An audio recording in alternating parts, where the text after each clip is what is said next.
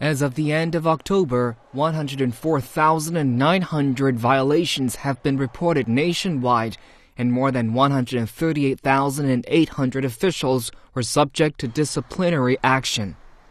That's according to CPC Central Commission for Discipline Inspection, or CCDI, the country's top graft watchdog.